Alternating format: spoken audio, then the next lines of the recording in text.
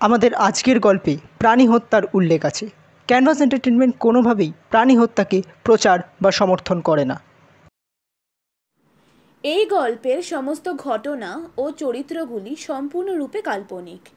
বাস্তবের সাথে কোনো মিল থাকলে সেটা সম্পূর্ণ অনিচ্ছাকৃত ও কাকতালীয়।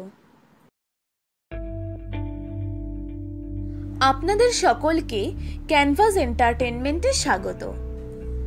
ক্যানভাস এন্টারটেনমেন্ট অডিও বুক সিরিজে আজ শুনবেন এক রাক্ষসের গল্প। গল্প রচনায় স্বাগত। প্রধান চরিত্রে রঞ্জন আর রক্তিম। আজকের গল্প পাঠে স্নেহা, গল্পের সূত্রধার আমি ইন্দ্রাক্ষী। শুরু হচ্ছে এক রাক্ষসের গল্প। এমনিতে তো রাক্ষসের মতো দেখতে আবার অন্য টিচারদের নামে কমপ্লেন করতে এসেছেন? আগে নিজের মুখটা দেখুন। অন্যরা রাক্ষস বলবে না তো আর কি বলবে? আর যেন অন্য টিচারদের নামে কমপ্লেন নিয়ে না আসতে দেখি তাহলে কিন্তু আর চাকরিটা থাকবে না। সরি স্যার এখানে দাঁড়িয়ে না থেকে যান ক্লাসে গিয়ে পড়ান। মাইনেটা তো আর মুখ দেখে দেওয়া হয় না। এমনিতেই স্কুলের বাচ্চারা আপনার ওই চেহারা দেখে ভয় পায়। রঞ্জনবাবু কিছু করুন আপনার ওই মুখটাকে নিয়ে। চাকরিটা চলে গেলে আপনি খাবেন কি? আসছি স্যার।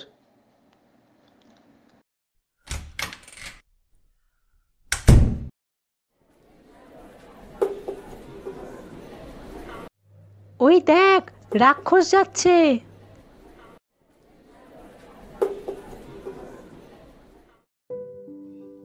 আপনারা এতক্ষণ যা শুনলেন সব খোলসা করে বলি। এই হলো রঞ্জন। কালিম্পংয়ের সেন্ট জর্জ নামের একটি স্কুলে সে কাজ করে।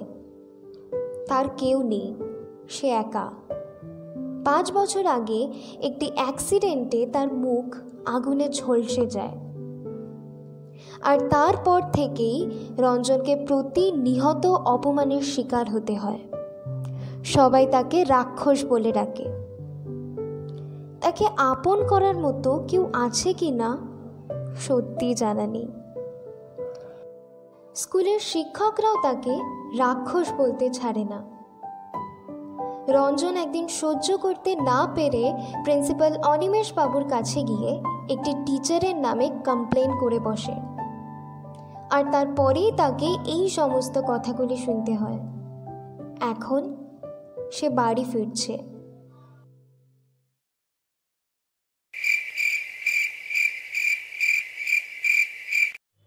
क्या राक्षस भैया एक महीने पहले आप हमारे दुकान से सामान खरीद के गए थे और अभी तक पैसा नहीं दिया कब मिलेगा वो पैसा আমি আসলে এখনও আমার মাইনেটা পাইনি পেলেই সঙ্গে সঙ্গে দিয়ে দেবো हम वो सब नहीं जानते আমার টাকা দিয়ে দিবেন ব্যাস নয়তো খুব খারাপ হবে আর আপনি ইচ্ছে করে রাত হয়ে গেলে এইখানে আসেন, যাতে পাহাড়ি রাস্তায় অন্ধকারে আমি আপনাকে দেখতে না পাই। ওসব চালাকি এখানে চলবে না হ্যাঁ। আমি ছাড়াও তো এরকম অনেকে বাকিতে জিনিস না কই? তাদের তো এরকমভাবে বলেন না। আর এটা তো প্রথমবার হলো, একটু দেরি হয়ে গেছে টাকাটা দিতে। রাক্ষস কা মুঁ মে বড়ি বড়ি বাত ওই দেখ আমায় টাকা দিবে না বলছে চলো উসকো মারো সব মারো সব আমায় মারবেন না আমায় মারবেন না আমি টাকাটা দিয়ে দেবো পেলেই দিয়ে দেবো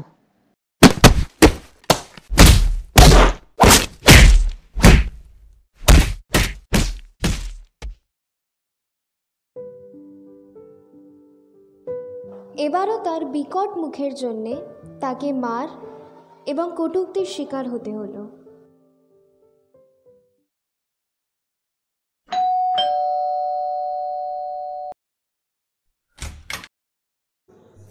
কিরে এত দেরি? আমি কি তোর জন্য দরজা খুলে বাইরে বসে থাকব? পরের দিন থেকে টাইমে না এলে কিন্তু বাইরেই বসে থাকবি। আসলে স্কুলে কাজ ছিল। তাই একটু দেরি হয়ে গেছে। তা মুখে এইগুলো কিসের দাগ? চুরি করতে গিয়ে ধরা পড়েছিস নাকি? তুই তো রাক্ষস মানুষ মারিস। চুরি কবে থেকে ধরলি? আমার মুদির দোকানে টাকা বাকি আছে। আমি বলেছিলাম মাইনে পেলেই দিয়ে দেবো কিন্তু শুনলো না মারধর করল। আচ্ছা আমারও ভাড়াটা বাকি কিন্তু। এমনি কম টাকাতে থাকিস। কালকের মধ্যে টাকা না দিলে সব জিনিসপত্র নিয়ে রাস্তায় চলে যাবে। কিছুদিন সময় দিন। এই বাড়ি ছাড়া আমি কোথায় যাব?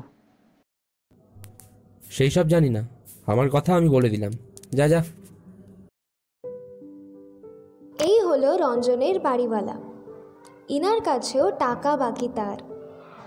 তাই সে আজও সমস্ত কিছু সহ্য করে নিজের ঘরে চলে গেল। গিয়ে যেটা দেখল সেটা বিশ্বাস করতে একটু কষ্ট রঞ্জনের হয়েছিল বটেই।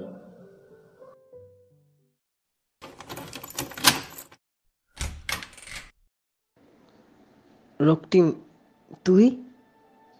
এতদিন কোথায় ছিলি? একটা কাজ পেয়েছিলাম রেসিকিমে রঞ্জন তার পুরনো বন্ধুকে তার ঘরের মধ্যে দেখতে পেল। আমি ভাবলাম এই জন্মেও ফাঁকি দিবি। আগের জন্মে তো ফাঁকি দিয়ে চলে গেছিলি। তুই আমার ভাইয়ের মতো। তোকে ছাড়া আমার সাথে কেউ ঠিক করে কথা বলে না। এখানেই একটা চাকরি খুঁজে নে না রে। ও ওইসব পরে দেখা যাবে। কিন্তু আমি যা ভেবেছিলাম সেটাই দেখছি হয়েছে। কি ভেবেছিলি? আর কি বা হয়েছে? এই তোর চোখে মুখে এত দাগ। পড়ে গেছিলাম রে পাহাড়ি রাস্তায়। জানিস তো অন্ধকার। কি মুদি ফেলে দিয়েছে নাকি? আমার থেকে আর কি লোকাবি? আমি সব জানি। তোর আর যা যা হয়েছে তার ওপর তোর অনেক রাগ ধরছে। কিন্তু তুই কাউকে কিছু বলতে পারছিস না। আমি তো একা। তাই আমার কিছু করার সামর্থ্য নেই। আমি তার জন্যই এসেছি যাতে তুই সাহস জুগিয়ে কিছু করতে পারিস। আগের জন্মেও ঠিক এই সাহস জুগিয়ে কাজ করতে গিয়ে তোকে হারিয়েছিলাম। মনে পড়ে? মনে পড়ে সেই স্বাধীনতা সংগ্রামের দিনগুলো? তখন ভারত স্বাধীন ছিল না এখন আমরা স্বাধীন। তবুও তোকে নিজের লড়াইটা নিজেকেই করতে হবে। কিন্তু আমি করব কি করে? ভালো করে মনে করে দেখ যাদের জন্য তুই আগের জন্মে আমাকে হারিয়েছিলি নিজের ফ্যামিলিকে নিজের ভালোবাসাকে এমনকি নিজেকেও হারিয়েছিলি তাদের জন্য কিন্তু এই জন্মেও তোকে আবার সব কিছু হারাতে হবে। না না আর না। এবার সময় আসছে আর সহ্য করিস না। শত্রুদের চেন আর শেষ কর। আগের জন্মে যারা তোর শত্রু ছিল এই জন্মে তারাই আছে। শুধু তাদের মুখের আদলটা একটু বদলে গেছে। আমি কি করব? তোকে ওরা রাক্ষস বলে না? তুই ওদের রাক্ষসের মতোই শেষ কর। আমি কাউকে খুন করতে পারব না। ক্ষমা কর। কাল স্কুল আছে। এবার তুই কি করবি সেটা তোর ওপর। আমি পাশেই একটা বাড়ি ভাড়া নিয়েছি। এবার আমি আসছি, কাল আবার দেখা হবে।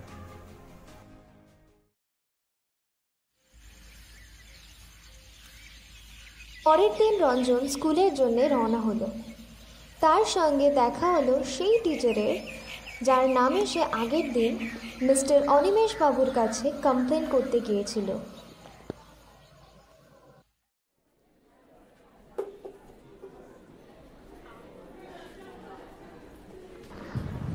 কি রঞ্জনবাবু? ও সরি রাক্ষসবাবু। কাল আমার নামে কমপ্লেন করতে গিয়ে নিজেই ঝাড় খেলেন বলুন। একটু প্রিন্সিপালের ঘরে যান। দেখুন কি অপেক্ষা করছে আপনার জন্যে।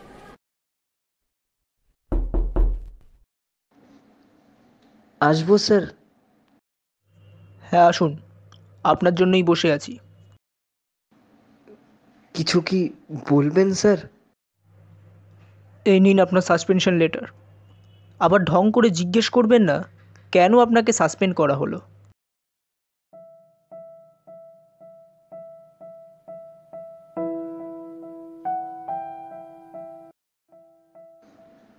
স্যার এরকম করবেন না। এই চাকরিটা না থাকলে আমি আমি মরে যাব। কাল যখন রোহিণী ম্যামকে হ্যারেস করছিলেন তখন মনে ছিল না? আমি তো জানতাম আপনাকে যেমনই দেখতে হোক, আপনার মধ্যে একটুকু হলেও মনুষ্যত্ববোধটা আছে। কিন্তু এখন দেখছি আমি ভুল ছিলাম। রাক্ষস নামটা আজ আপনি জাস্টিফাই করলেন রঞ্জনবাবু। এবার যান, মুখ না দেখে চলে যান এখান থেকে। রঞ্জন বুঝতে পারল এটা কে বা কারা করেছে। সে এটাও ধারণা করতে পারল এই জিনিসগুলো কেন করা হয়েছে? উদ্দেশ্য একটাই, রঞ্জনকে স্কুলে টিকতে না দেওয়া। সে শুধুমাত্র বলল, আমার যদি এরকমই করার হতো, তাহলে হাজারবার রাক্ষস শোনা সত্ত্বেও আমি কিছু বলিনি। আমি চুপ করেছিলাম। ঠিক আছে, আমার মাইনেটা দিয়ে দিন, আমি চলে যাচ্ছি। মাইনে? কিসের মাইনের কথা বলছেন আপনি? পুলিশে দিয়ে নিয়েই আপনার অনেক ভাগ্য ভালো। এবার সিম ক্রিয়েট না করে এখান থেকে বেরোন। এত কিছু মুখ বুঝে সহ্য করো। আজ আমায় এই সম্মানটা পেতে হলো। যান যান বাইরে গিয়ে এইসব ডায়লগ দিন। এখানে এসব ডায়লগ চলবে না।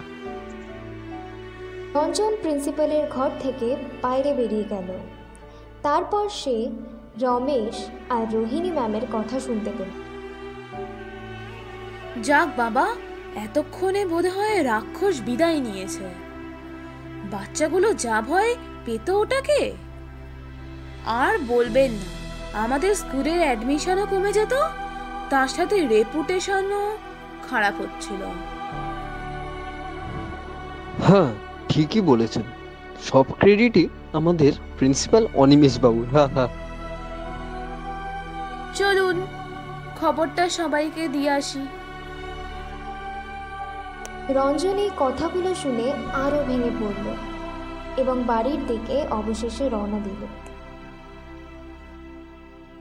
क्या रे मेरे पैसा किधर है आज सूरज डूबने से पहले मिल जाना चाहिए वरना সব কিছু শুনেও রঞ্জন মুখ বুজে রইল। সে বাড়ির দিকে রওনা হলো। বাড়িতে গিয়ে রঞ্জন যা দেখল, সেটা হয়তো তার কল্পনারও বাইরে ছিল। সে দেখল তার সমস্ত জিনিস বাড়ির বাইরে ওলট পালট করে রাস্তায় পড়ে এবং তার বাড়িওয়ালা তাকে বলল হুম, আমি জানতাম তুই আজকেও বাড়ি ভাড়া দিতে পারবি না। তাই আগে থেকেই তোর সব জিনিস আমি বাইরে রেখে দিয়েছি। এই বলে মহিদোষবাবু ঘরে ঢুকে গেলেন।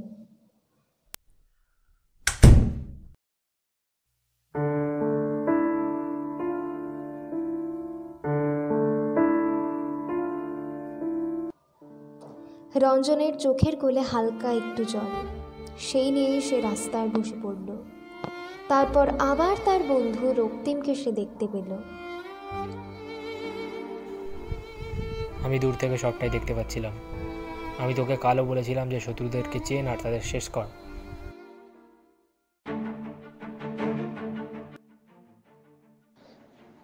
আর সহ্য হচ্ছে না। আর পারছি না।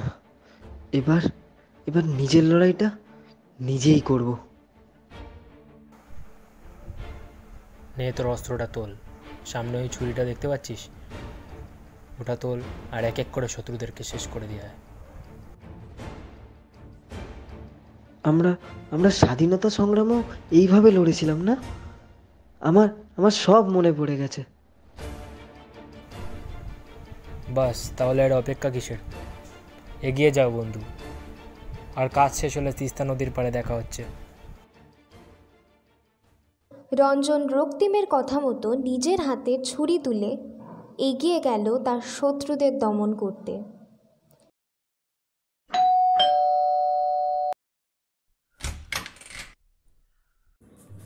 আবার এসেছিস? বললাম তো এখানে আর থাকা যাবে না।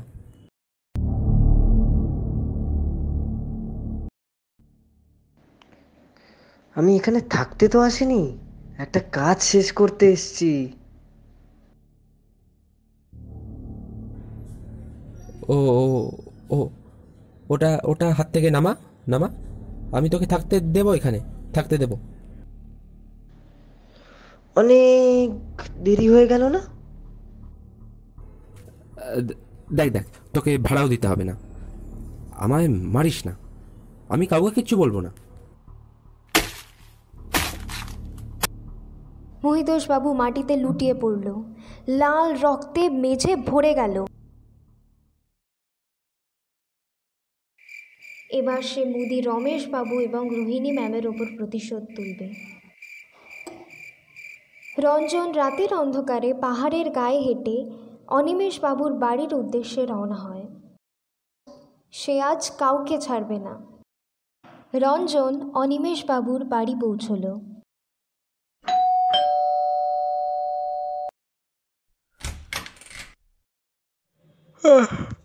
আপনি এত রাত্রিবেলা? চারটে বাজে খেয়াল আছে আপনার? কি চাই?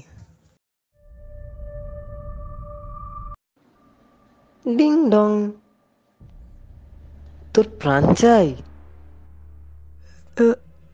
এসব কি? কি চাই আপনার? যাদের জন্য আজ আমি সমাজের থেকে একা যারা আমায় আলাদা করেছে অন্য মানুষের থেকে তাদেরই গায়ের রক্ত। এই জামায় চিন্তা করিস না কিছুক্ষণ পর তোরটাও আমার গায়ে থাকবে। তাহলেই না আমার শত্রু দমনের পালা শেষ হবে? আমার ভুল হয়ে গেছে। আসলে বাচ্চাদের ভালোর জন্যই আমি এসব করেছি। ঠিক আছে কোনো ব্যাপার না আপনি কাল থেকে আবার জয়েন করুন। প্রাণ বিপদে পড়লেই তোরা ঘ্যান ঘ্যান শুরু করিস কেন? আমিও তো একটা মানুষ ছিলাম রে তোদের মতো রাক্ষস বলতে বলতে তোরা আজ আমায় সত্যিই রাক্ষসে পরিণত করে দিলি। আমায় ক্ষমা করে দিন। দয়া করে আমাকে ক্ষমা করে দিন। আমিও বাচ্চাদের ভালোবাসতাম তাই আজ স্কুল টিচার হয়েছিলাম আর সেটাও নিজের যোগ্যতায়। আর তোরা আমায় অন্যদের থেকে আলাদা করলি। সব কিছু ক্ষমা করা যায় না রে সব কিছু না।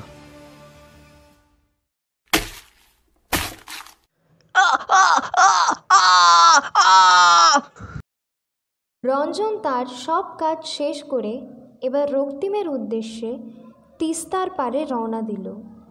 তখন সবে পাখিরা নিজের বাসা থেকে নিজের খাওয়ার জোগাড়ের খোঁজে যাচ্ছে আর অন্ধকার ছাড়িয়ে ভোরের সূর্য পাহাড়ি পথে পড়েছে। সে তিস্তা নদীর পাড়ে গিয়ে রক্তিমকে দেখতে পেল। রক্তিম, আমার কাজ শেষ। এবার একটু শান্তি বল। এবার আমার বিদায়ের সময় বন্ধু। সেই সময় এক অচেনা নাম্বার থেকে রঞ্জনের ফোনে কল আসলো।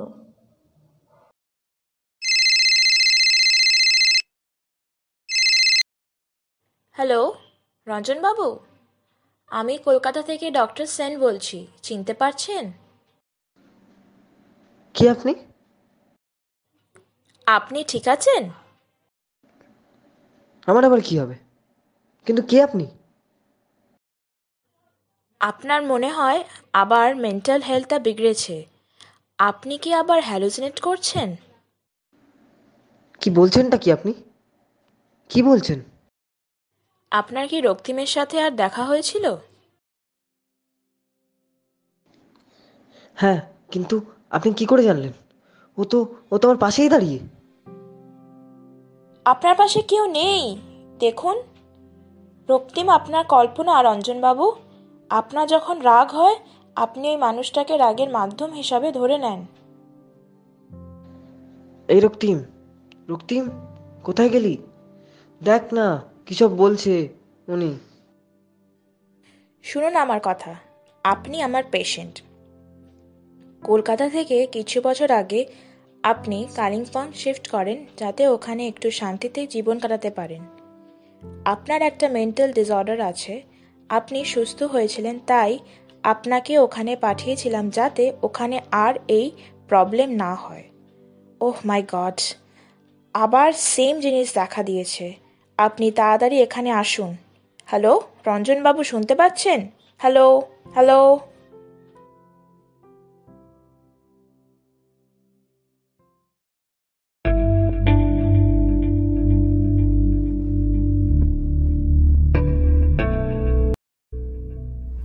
Canvas entertainment audio book সিরিজে আজ শুনছিলেন এক রাক্ষসের গল্প। গল্প রচনায় স্বাগত। গল্প পাঠে স্নেহা। রঞ্জনের ভূমিকায় স্বাগত। রক্তিমের ভূমিকায় শুভঙ্কর। অনিমেষ বাবু ও মুদির ভূমিকায় সৌপ্তিক। মহিতোষ বাবুর ভূমিকায় সুরিত। রোহিণী ম্যামের ভূমিকায় আমি ইন্দ্রাক্ষী। রমেশ বাবুর ভূমিকায় শ্রামান ডক্টর সেনের ভূমিকায় অদ্রিজা, সম্পাদনা ও শব্দগ্রহণে সৌপ্তিক, পরিচালনায় স্বাগত। Poster designing Srijit. আমরা আরও একটি গল্প নিয়ে ফিরে আসব খুব শীঘ্রই। অসংখ্য ধন্যবাদ আমাদের সাথে থাকার জন্যে।